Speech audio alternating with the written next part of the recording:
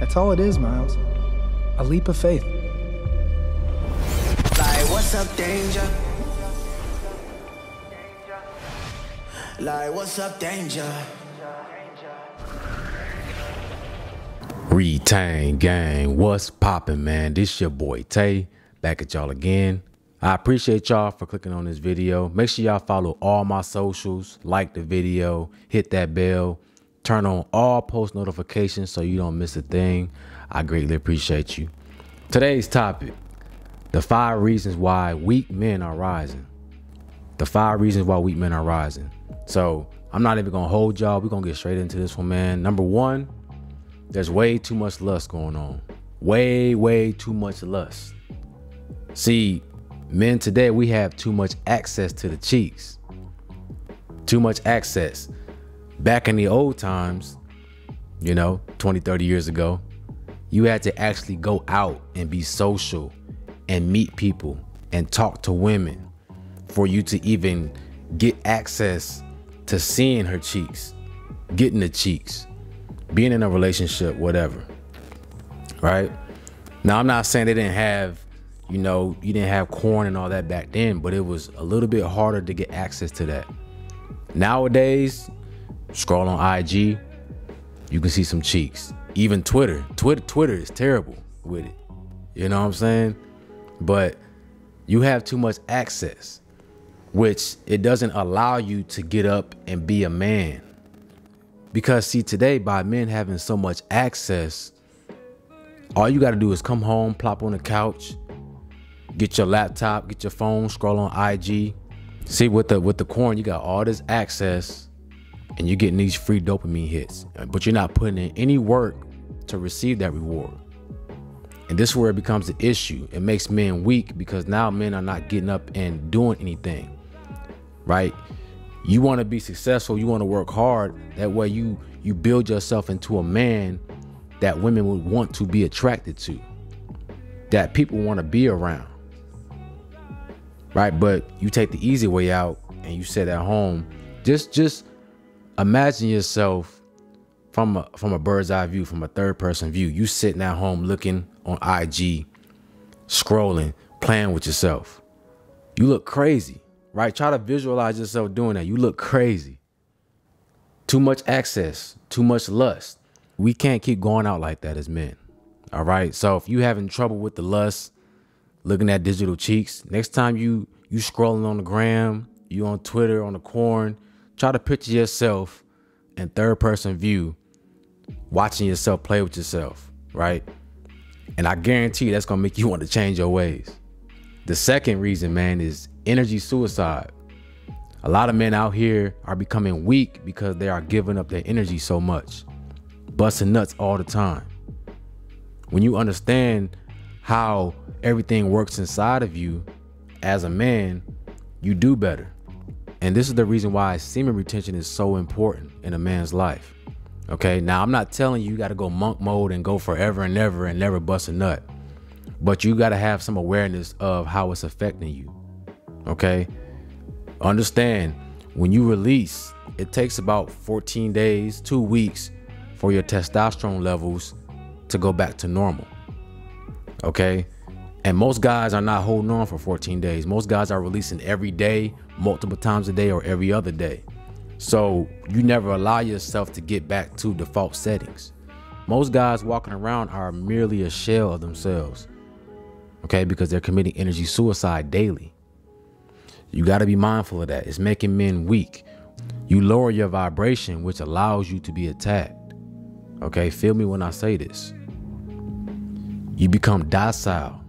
Why do you think you feel so relaxed and so calm when you release? Because you lost all your energy. Your, your energy's gone. Okay, any motivation, any drive you had is gone. You shot it out. Whenever you release your seed, there is a chemical that gets released into your blood that produces more estrogen. And this is why you become calm, right? You become relaxed. It's trying to calm you down. So I bring this message to you guys as men. Us men, we got to do better. You got to start having knowledge of self. Start learning about you, how everything affects you.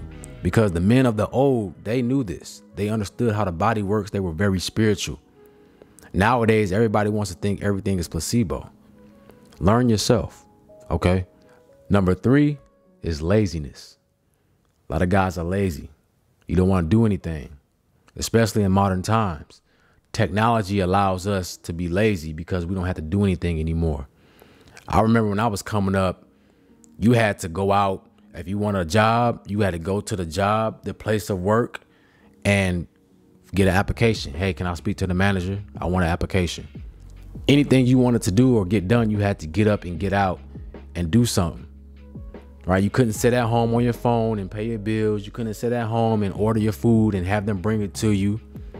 Well, they did have delivery services, but it wasn't like DoorDash and all that now. You couldn't sit at home. If you wanted to get things done, you had to get up. You had to get up early. Okay? Sitting in traffic, talking to people, being social, you had to be interactive with your day.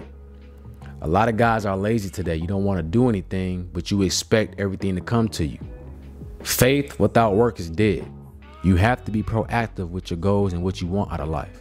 By being productive, you actually boost your confidence level. Getting things done can boost your confidence. You release hormones that's going to produce more testosterone. Why? Because when you accomplish things, that gives you a dopamine hit and it releases hormones. Your emotions affect your hormones. So when you're happy, when you're proud of yourself for getting up and accomplishing your goals, it's going to release hormones based off of how you feel. Your testosterone rises. When you sit on the couch and being lazy and complaining about your life, this creates depression, this creates anxiety, it, it creates insecurity, self doubt, all these things because you're not doing anything, you're not accomplishing anything. So, this is why it's very important as a man to always be on your grind, being productive, going after your goals. Okay? You gotta be like this. You can't sit around complaining about your life expecting for someone to come save you. It's never gonna happen. It's never gonna happen. You got two types of people in this world you got people who watch things happen, and you got people who make things happen. If you sit around and watch things happen, somebody's always to control your life. But if you make things happen, you will bring abundance into your life. Okay? So start making things happen. And that brings me into number four being too alpha. And I don't know if it's a trend nowadays, but guys want to act too alpha, you know, being too serious, you can't have fun. You can't be yourself. You putting on this persona. And that's not what a real man is. That's actually making you weak. Okay? The fact that you would change yourself to please somebody else, to please a woman, makes you weak. A real man, a real person stands 10 toes down on what they believe in. They stand 10 toes down on, on their principles, on their morals, on everything they stand for. And you're not going to let nobody change you or you don't change for no one else. Okay? Now, you correct yourself if you're wrong, but for the most part, who you are is who you are. Like Bernie Mac said it best. Boy, just be yourself. If people don't like you if you're being yourself, fuck them. Be a real man, which is being yourself. Okay? A lot of guys want to change for a woman. And, and what makes it worse is some guys think that being alpha means to disrespect women. And that's far, that's far from the truth. Because a real man understands the the value of a woman, her purpose. Okay? We all got mothers, grandmothers, daughters, if you got kids, sisters, aunties, cousins, you know, a niece, whatever. We have women in our family who we care for and we love. So you don't want anyone disrespecting them, right? So put that in your mindset, put that in your perspective of someone disrespecting your mom or your grandmother, right? You wouldn't like that. So we got to have that mindset for the collective consciousness. That's somebody's mother, someone's daughter, someone's sister that you're talking about.